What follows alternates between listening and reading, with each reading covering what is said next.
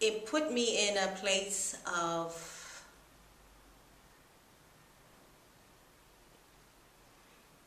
I would say positive thinking um, because it's so easy to be negative, but to speak positively, I found that I had to work a little harder at that.